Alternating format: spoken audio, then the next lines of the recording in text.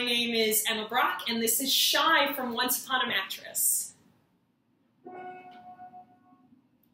I'm aware that it's wrong to be as weak as I am. My chances may pass me by. I pretend to be strong, but as weak as I am, all I can do is try. And that is why, though I'm painfully shy.